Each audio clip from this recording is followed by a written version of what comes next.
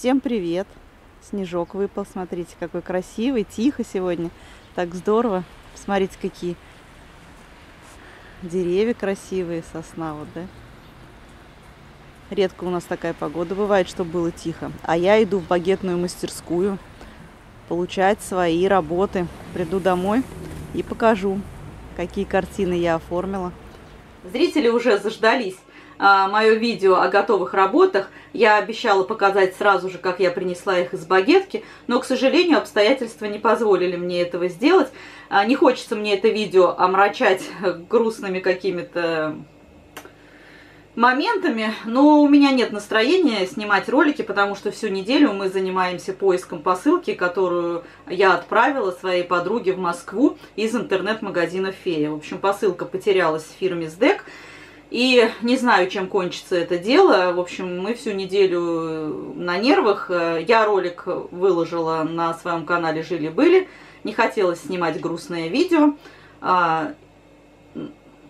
Но пришлось это сделать. Если вам интересно, то я оставлю ссылочку под видео, вы можете перейти и посмотреть, э, в чем там проблема. На вышивальном канале мне не хочется эти негативные темы затрагивать, но настроения не было, поэтому я прошу прощения у зрителей, что вовремя я не сняла такое видео. У меня ВКонтакте и в Инстаграме есть фотки, но опять же я их тоже сразу не делала, потому что всю неделю была на связи то с подругой своей, то...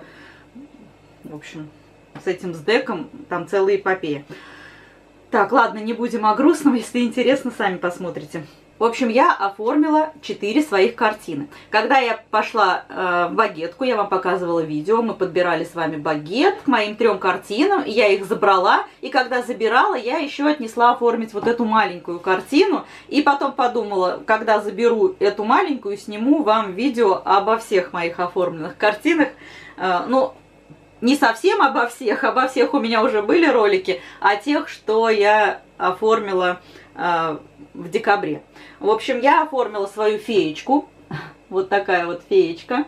На эту феечку я загадывала желание. Я все свои желания озвучиваю, но одно желание я от вас скрыла. Ну ладно, пусть оно будет личное, секретное. Вот, но желание сбылось, нормально все. В общем, э, я довольна работой моей фее. Хоть она и такая маленькая, но она работу свою выполнила. Подробнее о багетной мастерской у меня есть ролик.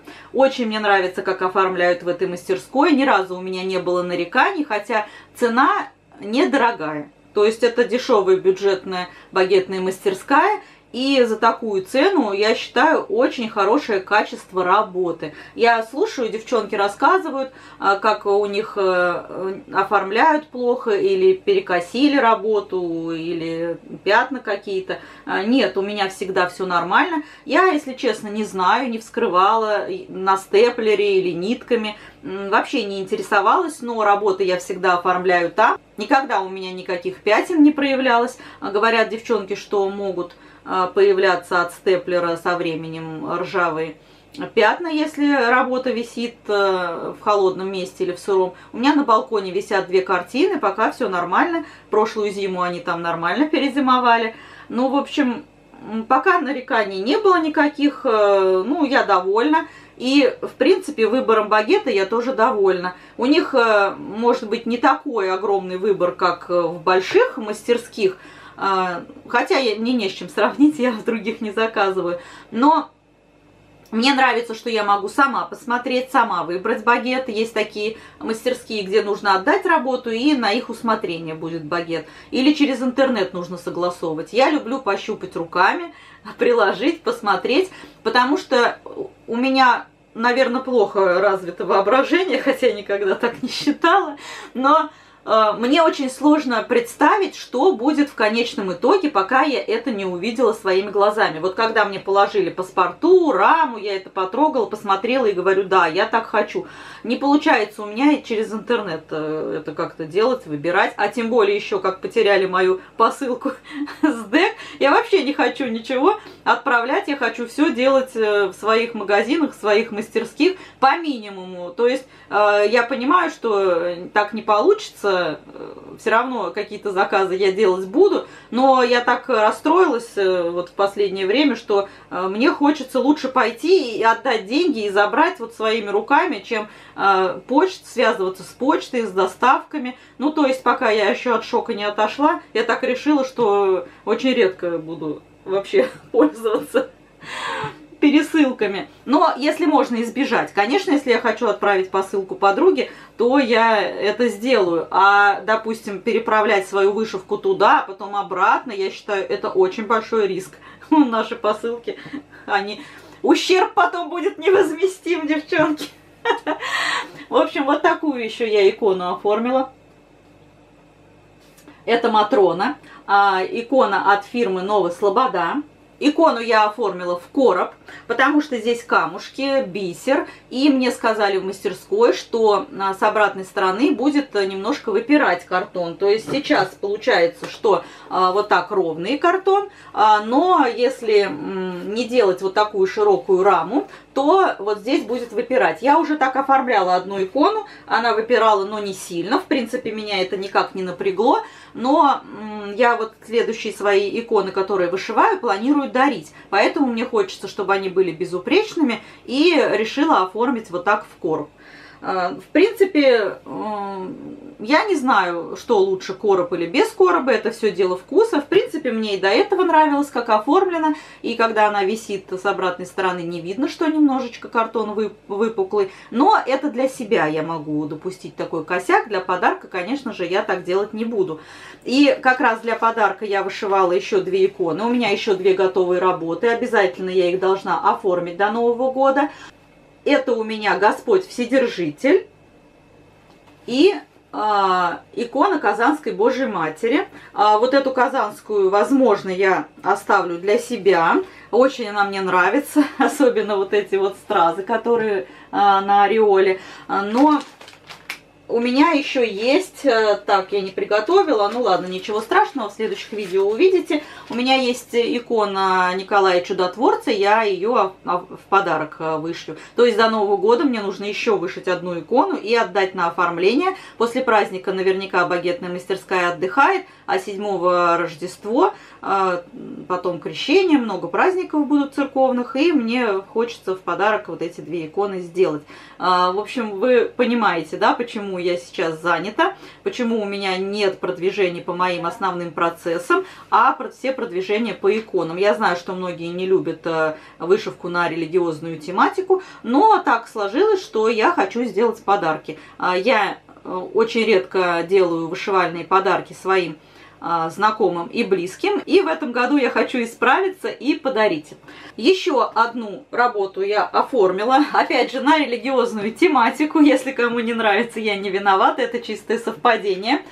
А, эту я работу вышивала для Тимура. Это рука Фатимы из серии «Религия Востока» от фирмы «Вышивальная мозаика». Я вышиваю от их фирмы э, еще одну работу. Ну, также я ее дарила. Опять же, вы скажете, что опять религиозная тематика. Ну, потому что я вышиваю себе иконы.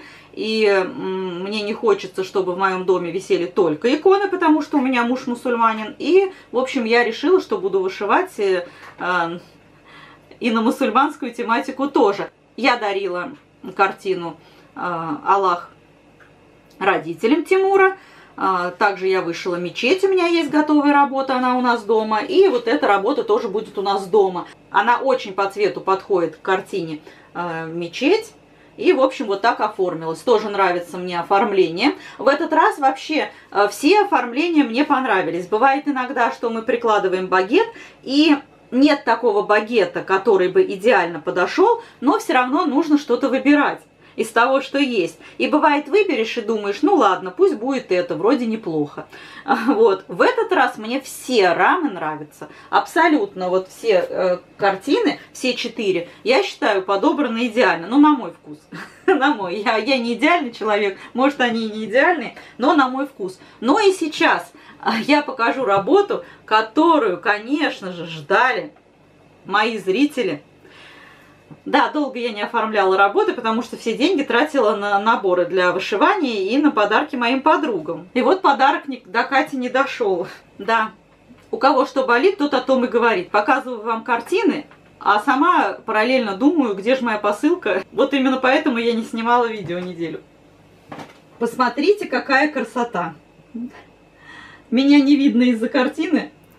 Я видела, как оформляли эту картину, и у кого-то из девочек вот здесь э, была перекошена канва, потому что канва Триолис очень тонкая. И вот эти вот и вот этот заборчик, штакетник, смотрелся криво. И когда я отдавала, я сказала, смотрите, пожалуйста, не перекосите, иначе забор будет кривой. Но, в принципе, хорошо оформили. Э, чуть-чуть э, вот здесь вот э, съелся рисунок, вот немножечко. Но, в принципе, это не страшно. Я понимаю, что канва от Риолис очень мягкая, и она перекашивается. И, видимо, по-другому невозможно было оформить. Хотя, в принципе, не так это в глаза бросается.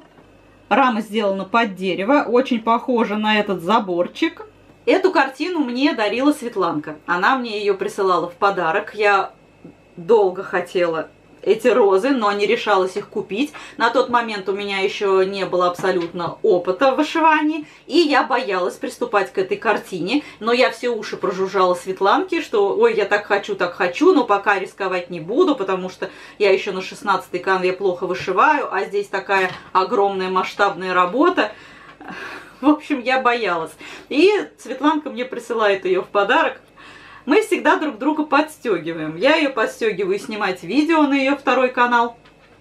Кстати, оставлю ссылочку на ее второй канал, Уютное ТВ, а также на ее основной канал.